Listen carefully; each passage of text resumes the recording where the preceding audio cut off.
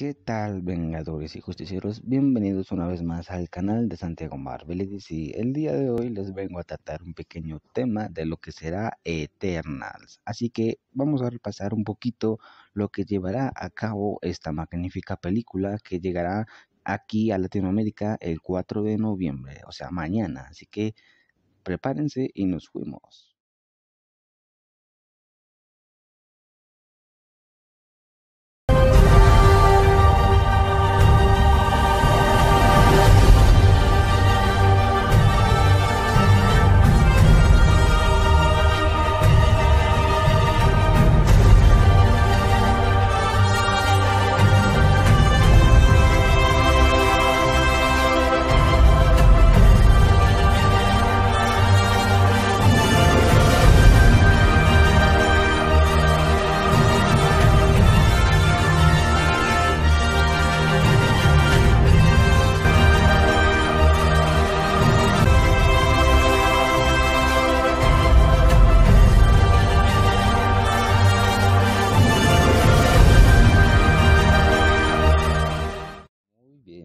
Y Justicieros, comencemos con el magnífico avance de lo que será Eternals. Ahora, Eternos. Primero, porque la película está bajando mucho últimamente de high. Normalmente esta película tiene algunas escenas muy interesantes. Eso sí, no he tenido la oportunidad de ver la película, pero la veré justamente mañana jueves 4 de noviembre del 2021. Esta película trata de los Eternals, eternos superpoderosos que crearon la Tierra. Son seres eternos poderosos, cada uno con un poder extremadamente muy, poderoso. Ahora, los poderosos villanos que aparecen acá, antihéroes, de cada generación protegen su generalidad. Cada eterno proviene de su planeta. Ahora, la directora Chole Chao dice que esta es una película basada en los cómics, por lo que se ganó el mejor Grammy a esta magnífica película del mundo del cine. Otra cosa que le quiso agregar la directora Chole Chao a esta película fue algo muy parecido a lo que le está agregando a Eternos. Ganó el Grammy dos veces y es la mejor directora, de mejor taquilla de toda Latinoamérica.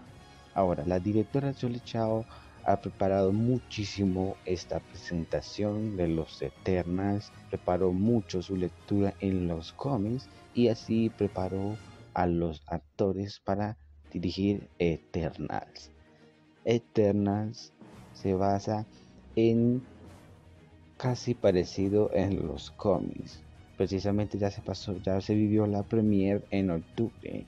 Ahora falta ver la película en mi país, Colombia, o por supuesto en Latinoamérica, para así sacar conclusiones de la película, qué fue lo que pasó, qué le faltó. Y bueno, vamos a hablar un poquito de lo que podemos ver en la película.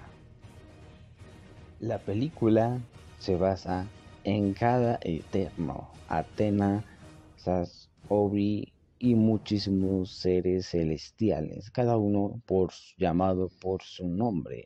Cada ser celestial tiene una habilidad, como lo dije anteriormente, que es por supuestamente los bautizaron como los Eternos. Ahora me encantaría hablar de este magnífico villano. Los desviantes. Estos desviantes son seres monstruosos, gigantescos, que enfrentan en los cómics a los Eternos. Precisamente lo vemos aquí en la película. Este es el principal villano de el equipo de los monstruos gigantes Ahora, en, los planetas muy lejanos habita este ser poderoso que es casi un eterno, pero es más fuerte de los eternos. Pero recordemos que en alguno de estos 10 eternos es más poderoso. Thanos fue el, hijo de, de, uno de los eternos antes de que este fuera un villano y llegara a la Tierra para enfrentar a los Vengadores. Precisamente él también fue un ser celestial, como lo fue su prima Atena. Ahora, más adelante en la película nos mostrarán muchos avances a lo, que es un poquito en los cómics y por supuesto cada participación y poder de los Eternals.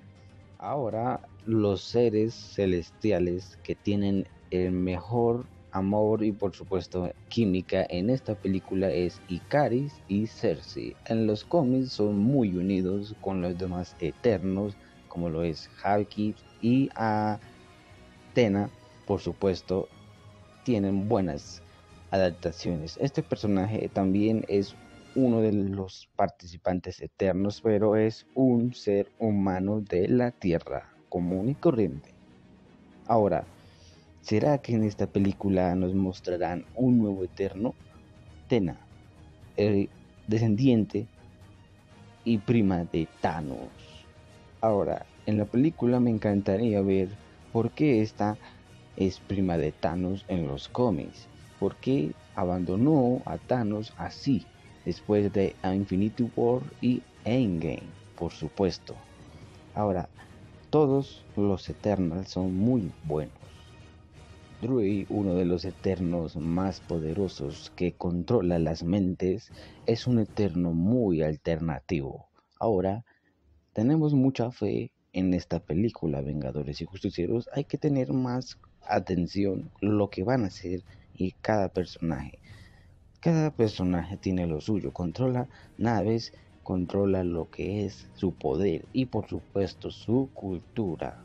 Ahora Vengadores y Justicieros, me encantaría que en la película nos mostraran un poquito más sobre lo que fue la época de los Vengadores, o sea, la reunión en los Vengadores. En los cómics fue casi parecido.